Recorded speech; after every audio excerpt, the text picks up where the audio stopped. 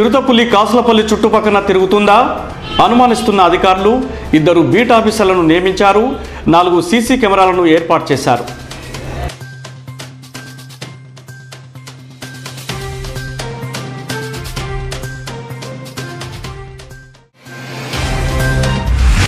పాలకుర్తి మండలం మారేడుపల్లిలో అమ్మటి మల్లన్న స్వామి జాతర ఘనంగా సాగుతోంది.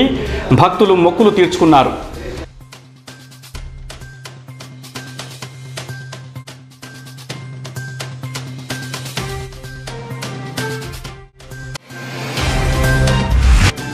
మంత్రి కుప్పలేశ్వర్ను కలిసిన విప్లవ పాటగాడు గద్దర్ ఎందుకు కలిశారో మాత్రం ఎవరికీ తెలియదు.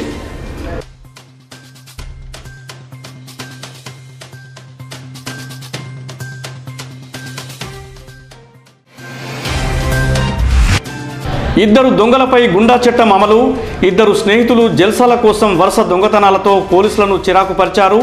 చివరికి పీడీ యాక్ట్ అమలైంది.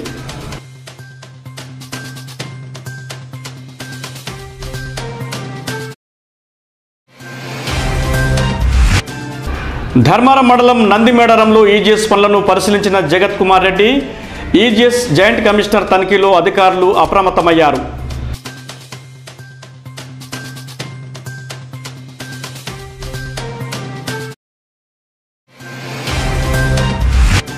ఢిల్లీలో రైతుల నూరు రోజుల దీక్షకు మద్దతుగా పెద్దపల్లి కామ్రేడ్స్ సంఘీభవ కార్యక్రమం చేపట్టారు.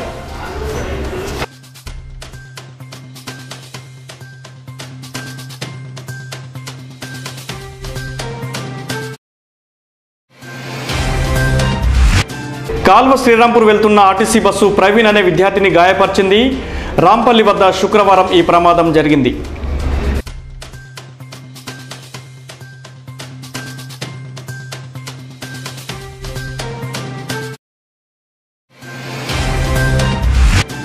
పెద్దపల్లి ఎక్సెస్ పరిధిలోని నాలుగు మండలాల్లో గత మూడు నెలలుగా బెల్ట్ షాపులు గుడుంబ స్థావరాలపై దాడులు నిర్వహించాము. వివరాలు తెలిపిన ఎక్సైజ్ శాఖ సిఐ.